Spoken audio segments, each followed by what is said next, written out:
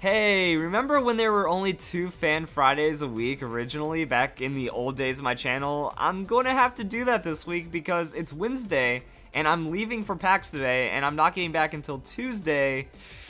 So let's just get on to what we have for Fan Fridays with a battle from Andrew. I mean, that team just wants to sweep. It just wants to win. Everything has some kind of craziness for the setup. I'm, I'm going to enjoy this. So let's go and check out the Serperior. Now, Serperior it I don't see like any super threats to the opponent's team, but I don't think Serperior is going to be able to get set up with that Tentacruel right there, and Serperior goes for the Glare. Not sure about that one, because Tentacruel isn't going to be fast anyways, and there's a Toxic, so, so train the status is right there, but Tentacruel, it's a special defense tank, and it leads really nasty. Also with that Poison typing, it's going to kind of balance out, so Serperior isn't going to do anything to it. Like, Serperior doesn't have a lot of damage to begin with. It needs to get that plus two, and then it gets scary. So that first hit's going to be, like, the first Pokemon's going to be a 2-hit KO, then everything else gets one shot. But I think Tentacruel would lead off as, like, a 3-hit KO. It's it's that tanky, and I don't know why he's switching out, honestly, because he can take those hits pretty well, and now we come, now we bring in the Conkeldurr, and no!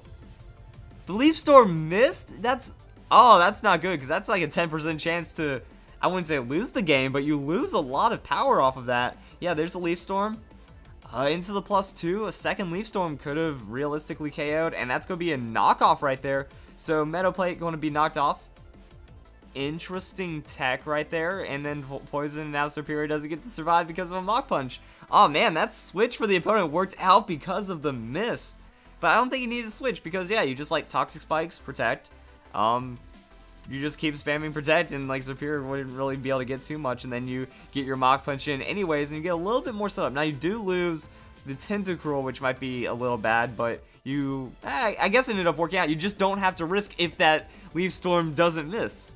So there it is. There's Drifblim with the minimize. Our Drifblim into Muk? Oh, this is a, this is going to be very fitting potentially because hey, I just did a top 10 poison type Pokemon and Muk was on the list. If you want to see the rest of the list though, you got to check it out for yourself. And there's a Thunderbolt. So, ooh, no!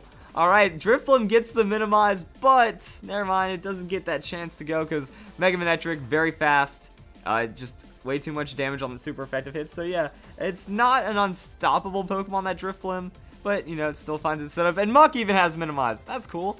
Imagine if Drifblim could get like one minimize, one stockpile into the Muk. That'd be so free. And now we get to see how Muk deals with this. So that's going to be a Thunderbolt. Thunderbolt's going to miss in this situation. Muk gets that stockpile. So it's like a more... Well, I mean, uh, Drifblim is in the Amorphous Egg group, I believe. So I wouldn't say it's like... It's not like a more amorphous uh, Drifblim. It's like a less baton passy. Uh, not as fast because once Drifblim gets out and burden, it gets pretty ridiculous. That's going to be Hidden Power. Doesn't do anything. I wonder why the opponent threw out the Hidden Power against the Muk. Like, Thunderbolt is your best option. Muk's going to keep stockpiling, and then the damage is going to keep getting crazy as the Black Sludge heals. So yeah, Muk is in a really weird position because it's best sustain in a way, or it's like, it's going to have that Black Sludge for sustain if it's not already running that Pain Split, but on a minimized stockpile set, you know, it's like Pain Split, what else? Uh, you like to see the Power Up Punch on this Pokemon so it can get those setups in. And at least Tentacruel isn't going to be able to Toxic or do anything to the Muk. So that's so much free stuff right here. It looks like we're going to get that Muk sweep I've been waiting for. What are you doing? I, I think, is the opponent already given up? Because, yeah, there's, like, nothing he can really do. He can go into the Conkeldurr and, like, knock off the leftovers to remove some sustain, but Muk already has ridiculous evasion. It's going to avoid all those attacks. It's not going to get burned. And it also has some stockpile, so it's not going to take any damage. And there's the Power Punch. So Berto showing me that originally. He's like, hey, Muk gets that Power Punch. You want to see a Pokemon get ridiculous amounts of damage and go completely ham? That's what happens. As you can see, Muk hasn't taken enough damage where Black Sludge is like healing it back up to full. That's one of the crazy things about this. Muk gonna get that Power Punch again. And uh, one thing that's really interesting about that paralysis, kind of helping out right now. You just don't want to risk that Scald. Like, it's a 40% chance, Actually, I think it's down to 30-something percent chance to land the attack. Like, 36% chance to hit. And then you also get it to where there's a 30% chance to burn. Could happen. You don't need that on your Muk right now. And the opponent realizes that's not going to do anything. Goes into the Conkeldurr. And that's going to be a free Power Punch on a Conkeldurr. I mean, Muk's getting the stats. There's another attack gain. like, that's the cool thing about this Muk. It gains defenses, evasion, attack, That's going to be the knockoff. Muk's going to avoid it. Another Power Punch. Oh my goodness, that's greedy. That is so greedy. I would just go to finish it off before I have to deal with that knockoff again. Drain Punch, not going to do anything. Power Punch. Is, is there only Power Punch as an offensive move on this Muk? What is going on? Okay, so Muk is Muk is going for the win right now. Muk is going for the win. And in comes the Manectric. So, oh, I guess, I wonder if it's supposed to be like for the poison. It doesn't seem like it has poison touch because we've seen a lot of those uh, power punches. But that'd be crazy if Muk was just power up punch into that poison touch, had like pain split for sustain or something. It's going to be doing little bits of damage right here. 40 base power, now up to like an effective non-stab on that 160 with a tanky Pokemon. Withdraws, I don't know what the opponent's going for. It's just over. GG. Muk's too strong. Uh, Muk going for that power, power punch. Uh, Tentacruel is going to eat it, taking little bits, little bits of damage. It's getting up there. Uh, Tentacruel might be the tough one to deal with right here, unless... Where's that gunk shot? You have so many stats on that Muk. Just, just use it. Muk with that power punch. Also, it's interesting. The Manectric, like, just kind of coming in, going out.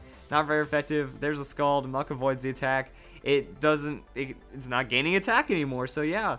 I'm starting to think that that might be what this Muk is going for. Now, it's really interesting because in a 6v6 or 3v3, you have other Pokemon on your team to absolutely deal with... Oh, there's the Gunk Shot, but it's going to be on the Protect turn. Of course it is.